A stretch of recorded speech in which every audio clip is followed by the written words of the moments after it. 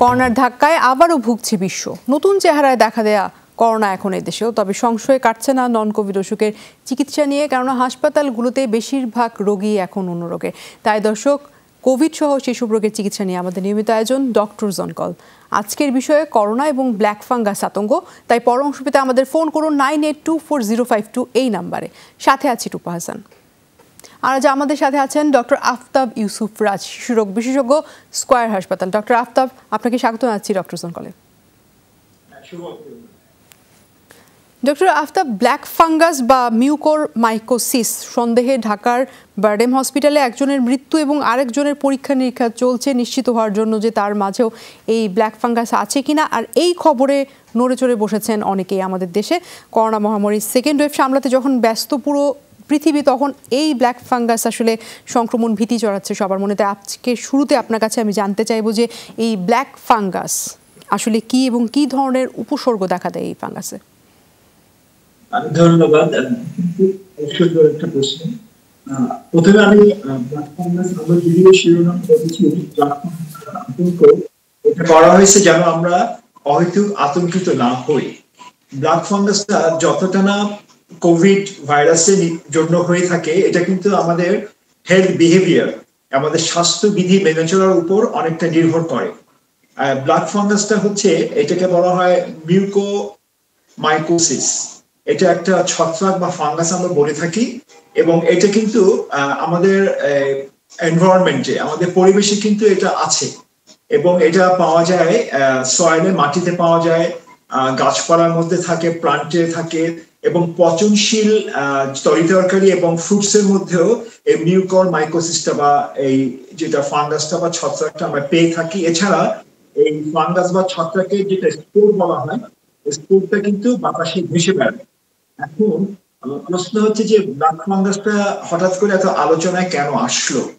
এইটা আসলে আলোচনায় আসছে। আমরা জানি যে আমাদের পার্শ্ববর্তী দেশ ভারতে second wave of Covid nineteen একটা ডিজাস্টার করেছে এবং অগণিত লোক এই কোভিড নাইন্টিনে মারা যাচ্ছে। এর পাশাপাশি আক্রান্তের হারও এখন পৃথিবীর মধ্যে সবচেয়ে বেশি। এই ভারতেই এই সেকেন্ড ওয়েভের এই কোভিড নাইন্টিনের উচ্চ হারের পাশাপাশি গত এক মাস ধরে এই ব্লাড ফাঙ্গাস বা ছত্রাক জাতীয় রোগটা অত্যন্ত দ্রুত হারে ছড়িয়ে পড়ছে। এবং সেই জন্যই কিন্তু এটা আতঙ্ক ছড়াচ্ছে সারা বিশ্বে। এবং যেহেতু আমরা ভারতের পার্শ্ববর্তী দেশ, আমাদের দেশেও এখানে কিছুটা আতঙ্কের সৃষ্টি হয়েছে। এই পর্যায়ে আপনার কাছে আমি জানতে চাইব আপনি ভারতের কথা যখন বলছিলেনই আমার জানার বিষয় ছিল যে কেন সেখানে এইভাবে দ্রুত ছড়াচ্ছে এই ফাঙ্গাসটি? এটি কি সংক্রমিত করতে পারে নাকি? এটি কি কন্টাজিয়াস কিনা? সেই বিষয়টি একটু জানাবেন। হ্যাঁ ব্লাড ফাঙ্গাসটা আসলে ভারতে দ্রুত ছড়ানোর ক্ষেত্রে ভারতীয় জনগণের কিন্তু একটা স্বাস্থ্যবিধি মেনে না চলার একটা বিরাট ভূমিকা আছে। এছাড়াও আপনারা জানেন যে কোভিড রোগীদের কিন্তু অক্সিজেন প্রচুর লাগে এবং অক্সিজেন ডিপেন্ডেন্সি থাকে। ভারতে যে দেখা গিয়েছে যে, ওখানে এত বেশি পরিমাণে রোগী আক্রান্ত হয়েছিল, অক্সিজেন সাপ্লাইটা কিন্তু অপ্রতুল্য ছিল এবং কোনো কোনো ক্ষেত্রে হাসপাতাল এবং বাসাও যখন অক্সিজেন দেওয়া হয়েছে অক্সিজেন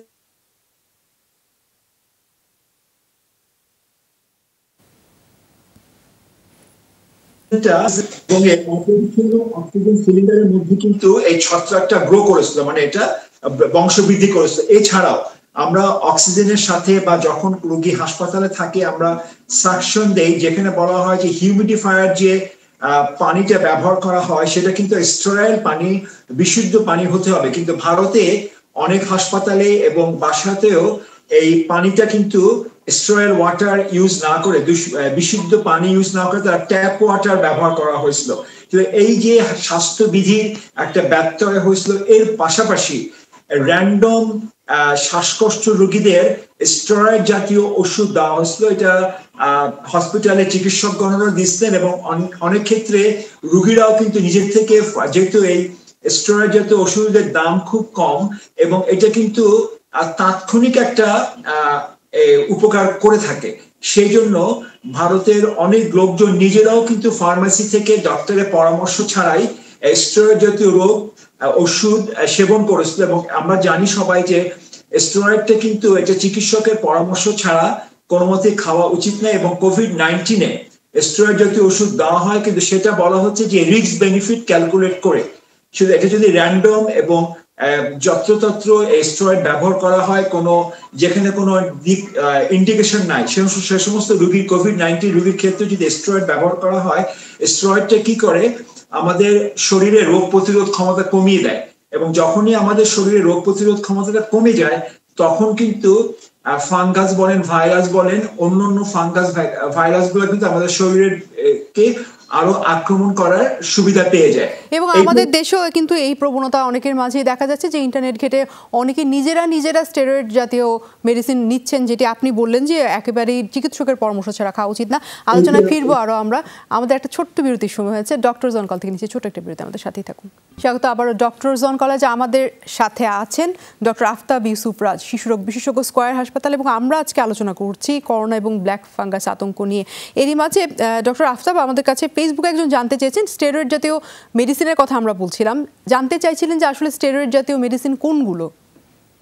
হ্যাঁ আমাদের দেশে অত্যন্ত কম দামে পাওয়া যায়। ট্যাবলেট কন্টেন্ট ট্যাবলেট পিকোডিল আমি অনুরোধ করব, সবিনয় অনুরোধ করব, আমাদের জনগণকে আপনারা কোন কারণে, কোনো মতেই চিকিৎসকের পরামর্শ ছাড়া ট্যাবলেট কন্টেন্ট বা ট্যাবলেট পিকোডিল খাবেন না।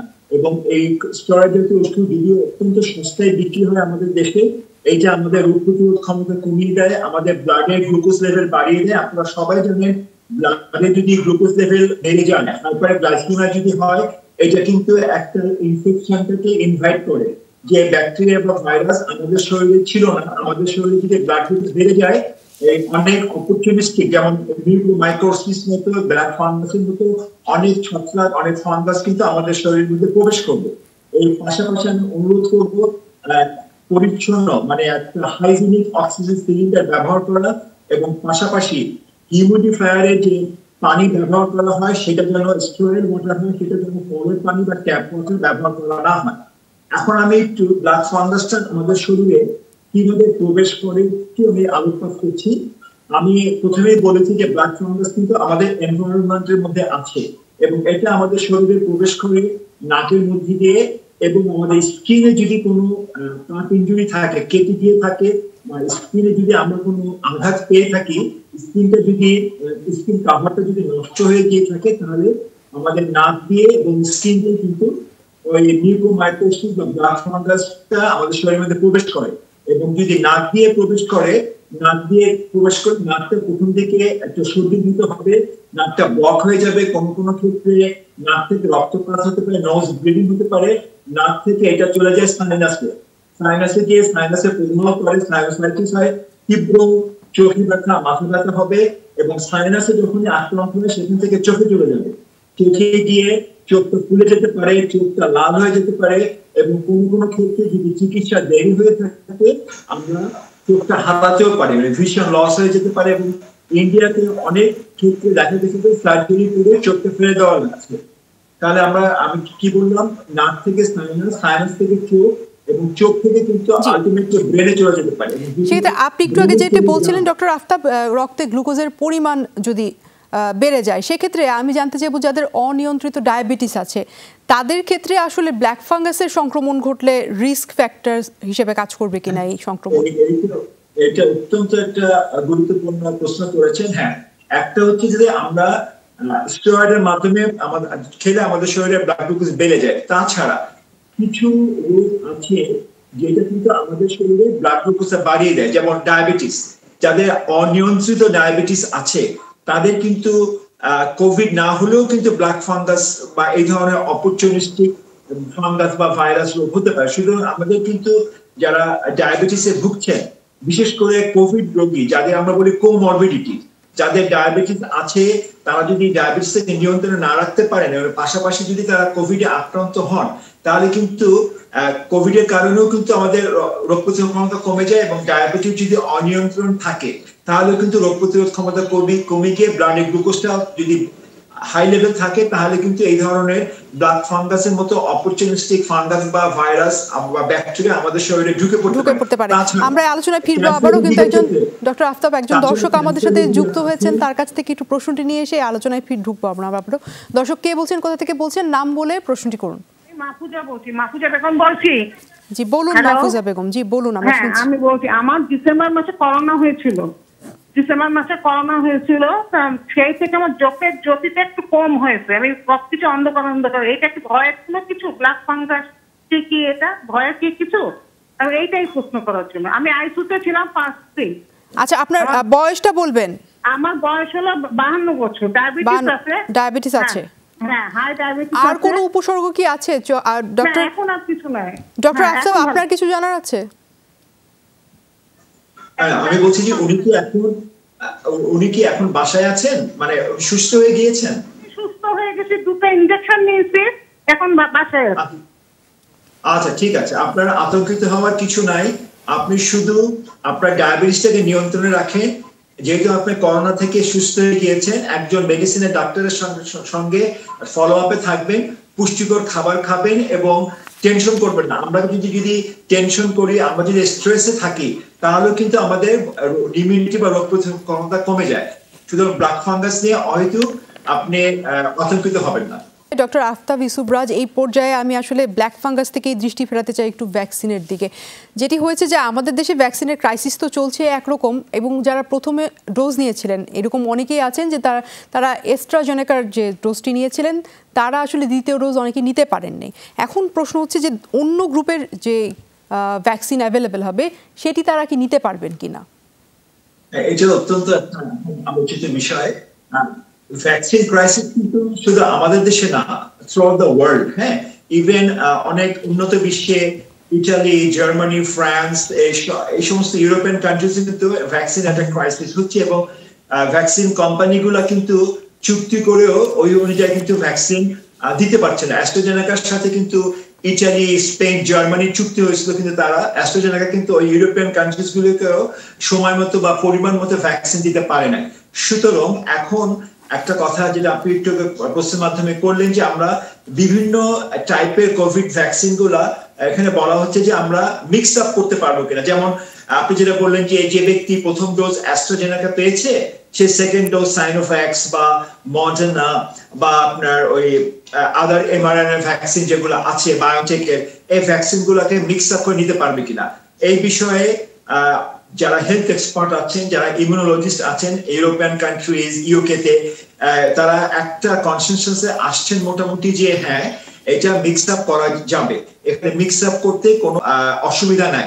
বিশেষ করে লন্ডন স্কুল অফ ট্রপিক্যাল মেডিসিনের যিনি হেড যিনি প্রফেসর ইমিউনোলজি প্রফেসর ফ্লেস্টার উনি বলেছেন যে এই ভ্যাকসিন মিক্স আপের যে কনসেপ্টটা অনেকে মনে করছে যে এটা বোধহয় এইবার প্রথম আসলো। আসলে কিন্তু ভ্যাকসিন মিক্স আপ আপের কনসেপ্ট নতুন কোনো কনসেপ্ট না, অতীতেও কিন্তু এরকম ভ্যাকসিন মিক্স আপ করা হয়েছিল প্রয়োজন অনুযায়ী।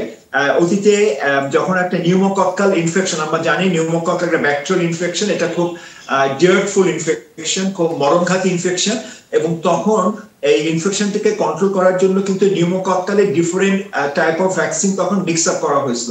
এছাড়া এইচআইভি বা এইডস এরও different type of vaccine in the past মানে অতীতে মিক্স আপ করা হয়েছিল। সুতরাং জার্মানি এবং ফ্রান্সে কিন্তু হেলথ এক্সপার্টরা অলরেডি তারা বলে দিয়ে ফেলেছে যে কোনো ব্যক্তি যদি প্রথম ডোজ অ্যাস্ট্রোজেনাকে নিয়ে থাকে, সে দ্বিতীয় ডোজ মডার্না বা ফাইজার বায়োটেকের অন্য টাইপ অফ কোভিড ভ্যাকসিন দিতে পারবে। এই ক্ষেত্রে different type of vaccine mix up করতে কোনো সমস্যা নাই।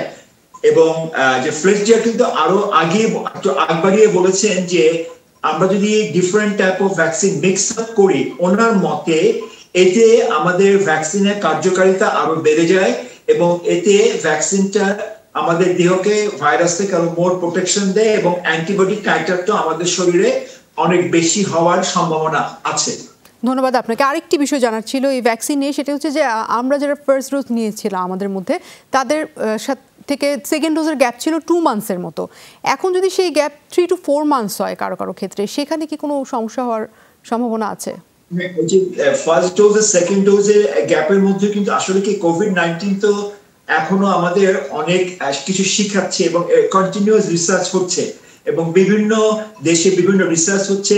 ক্যানাডাতে বলেছে যে ফার্স্ট এবং সেকেন্ড ডোজের মধ্যে ফোর মান্থস ম্যাক্সিমাম ফোর মান্থসও গ্যাপ দেওয়া যেতে পারে। সুতরাং আমাদের দেশে আমরা যেটা প্রথমে শুরু করেছিলাম যে দু মাস গ্যাপে এটা যদি তিন মাসও গ্যাপ হয়, চার মাস গ্যাপও যদি আমরা সেকেন্ড ডোজ দেই, এতে আমাদের ভ্যাকসিন কার্যকারিতা বা আমাদের দেহে প্রথম ডোজ দেওয়ার পরে যে অ্যান্টিবডিটা গ্রো করেছে, যে অ্যান্টিবডি লেভেলটা যেটা হয়েছে, সেটাতে কোনো তারতম্য হবে না। এবং এই তিন থেকে চার মাস গ্যাপেও ভ্যাকসিন দিলেও সেকেন্ড ডোজের ভ্যাকসিন কার্যকারিতা কোনো মানে পরিবর্তন হবে না। আরেকটি বিষয় এখন জানতে চাইব, সেটা হচ্ছে যে কোভিড থেকে সেরে ওঠার পরেও অনেকের মধ্যে দেখা যাচ্ছে পোস্ট কোভিড সিনড্রোম। আসলে এই বিষয়টি কেন হচ্ছে এই সেকেন্ড ওয়েভের ক্ষেত্রে? হ্যাঁ এটাকে বলে পোস্ট কোভিড সিনড্রোম অথবা পোস্ট কোভিড হল। এবং এইটা আসলে সেজন্য বলা হচ্ছে যে যারা কোভিড থেকে সুস্থ হয়ে উঠেছেন, তাদের কিন্তু সুস্থ থাকলেও তাদের কিন্তু একটা কন্টিনিউয়াস একজন স্বাস্থ্য বিশেষজ্ঞ মেডিসিন বিশেষজ্ঞ বা যারা কোভিড বা ইন্টারনাল মেডিসিন যারা বিশেষজ্ঞ আছেন হার্টের যারা বিশেষজ্ঞ আছেন বা পালমোনারি বা ফুসফুস বিশেষজ্ঞ যারা আছেন, তাদের সাথে একটা কনস্ট্যান্ট ফলো আপে থাকতে হবে। কারণ কোনো কোনো ক্ষেত্রে দেখা গিয়েছে যে, আমরা বলি ব্রেক থ্রু ইনফেকশন যে যাদের কোভিড হয়েছে কোভিড থেকে রিকভারি হয়ে গিয়েছে, তাদেরও কিন্তু সেকেন্ড টাইম কোভিড হতে পারে। কিন্তু সেক্ষেত্রে এটাকে বলা হয় ব্রেক থ্রু ইনফেকশন আবার যারা কোভিড ভ্যাকসিন পেয়েছেন ফার্স্ট ডোজ তাদেরও কিন্তু আবার কোভিড হতে পারে। কিন্তু সেই ক্ষেত্রে বলা হচ্ছে যে সেকেন্ড টাইম যদি কোভিড কারও হয় অথবা যদি ভ্যাকসিন দেওয়ার পরে যাদের কোভিড হয় বেশিরভাগ ক্ষেত্রে দেখা গেছে যে ওই সিমটমটা কম হয় এবং তাদের মধ্যে হসপিটালে ভর্তি হওয়ার সম্ভাবনাটা কম থাকে। কারণ ভ্যাকসিন দেওয়ার পরে অথবা কোভিড থেকে যারা পুরোপুরি সুস্থ হয়ে উঠেছেন তাদের মধ্যে একটা পর্যাপ্ত পরিমাণে রোগ প্রতিরোধ ক্ষমতা গ্রো করে যেটা যেটা আমরা বলি যে অ্যান্টিবডি গ্রো করে। এবং অ্যান্টিবডিটাই সেকেন্ড বার যখন আক্রান্ত হয় তখন বডিটাকে একটা বেটার প্রোটেকশন দেয়। প্রোটেকশন দিতে সক্ষম হয়। আমাদের সাথে একজন দর্শক যুক্ত হয়েছেন। আমরা তার কাছ থেকে প্রশ্ন নিতে চাই। দর্শক কে বলছেন কোথা থেকে বলছেন? নাম বলে প্রশ্নটি করুন। দুঃখিত দর্শক, আপনি পুনরায় চেষ্টা করতে থাকবেন। ডক্টর আফতাব, আপনি বলছিলেন পোস্ট কোভিড সিনড্রোম নিয়ে সাম্প্রতিক একটি গবেষণা দেখা গেছে যে কোভিড রোগীদের এই সেভেন্টি এইট পার্সেন্টই পরবর্তীতে হৃদরোগের নানা জটিলতায় আক্রান্ত হচ্ছেন। এই জন্য আসলে যারা কোভিড নিয়ে অ্যাডমিট হন, তাদের চিকিৎসকরা ব্লাড থিনার দিয়ে থাকেন কিনা, সেই বিষয়টি একটু আপনার কাছে জানতে চাইব। না ব্লাড থিনারটা তো আসলে এটা তো একটু সিরিয়াস কোভিড রোগীদের এটা কিন্তু হসপিটাল ড্রাগ এটা কিন্তু বাসায় কোনো মতেই এটা মানে প্রেসক্রাইব করা বা ব্লাড থিনারটা ইউজ করা উচিত না। এবং ব্লাড থিনারটা কিন্তু এটা চিকিৎসকই যারা কোভিড আইসিইউতে কাজ করেন, যারা কোভিড রোগী দেখাশোনা করে, এটা কিন্তু একজন কনসালটেন্ট বা বিশেষজ্ঞের ডিসিশন যে ব্লাড থিনার আমি দেবো কি দেবো না, কোন রুগীর ব্লাড থিনার লাগবে কি লাগবে না। ব্লাড থিনারটা কিন্তু রুটিন ড্রাগ না। আপনি আজ যেটা বললেন যে যে পোস্ট কোভিড রুগীদের হার্টের প্রবলেম হয় এটা যাদের বিশেষ করে ধরে কোমরবিডিটি আছে কোমরবিডিটি আছে তাদের মধ্যে সবচেয়ে বেশি সম্ভাবনা থাকে। অসংখ্য ধন্যবাদ আপনাকে ডক্টর আফতাব ইউসুফ রাজ আপনার মূল্যবান সময় থেকে আজ আমাদের সময় দিয়েছেন। আর দর্শক এই ছিল ডক্টর জনকলে আজকের আয়োজনে। দেখা হবে আগামী পর্বে। ততক্ষণ পর্যন্ত আপনারা সবাই ভালো থাকুন সুস্থ থাকুন।